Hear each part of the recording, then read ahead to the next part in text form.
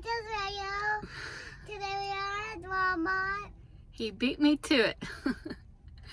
Welcome back everybody. Today we're at Walmart and today I am going to be going through and picking up my favorite clothes and We accessories. And groceries. And I'm gonna bring, and me and Maya are gonna bring you a haul. Most likely. If, um, yes, I believe I am. Yes, I am. I had to buy some stuff, so I will most likely have a haul at the end of this video.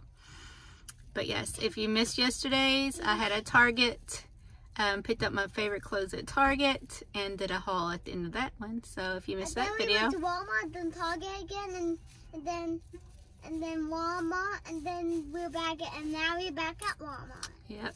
So if you missed that video, go check that one They out. didn't miss our video.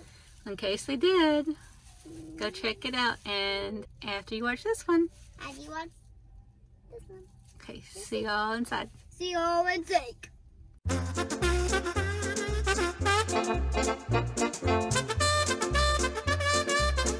I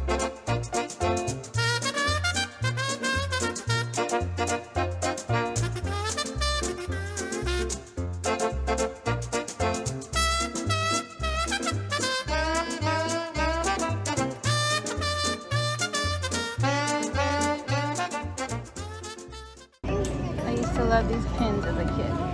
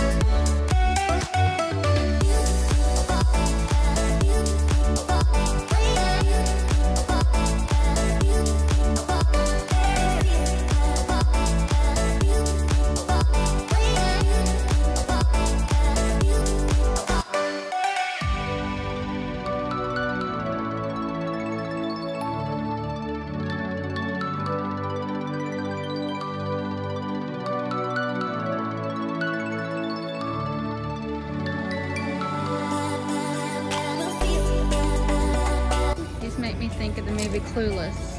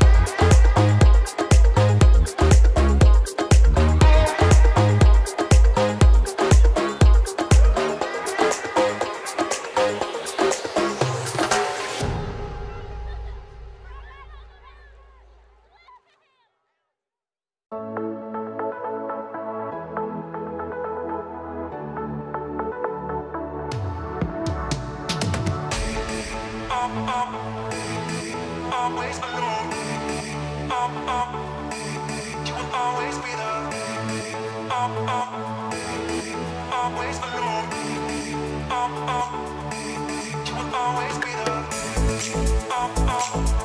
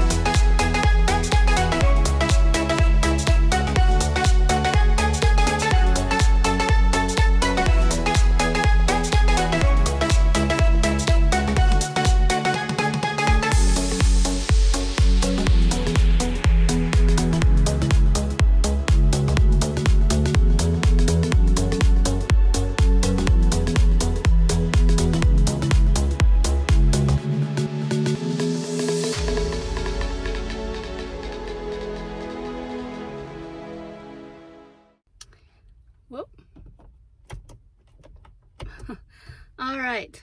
Can't see James back there. James is back there. But, um, yeah, it got late really quick. well, not really quick. We were in there for quite a bit. So, um, but we're not, yes, we're at Walmart. So I'm not going to do a haul because I ended up actually buying a lot. so that's going to actually just end up being another haul. But, um, yeah, so if you like this video, what I do, James? Give a thumbs up, subscribe, hit the bell, and never see the videos. I'm gonna do a haul when we get home. Yeah, It's we'll, too dark. we'll do it for another video. So we'll see y'all in the ne- next time. Right. Thanks. Bye.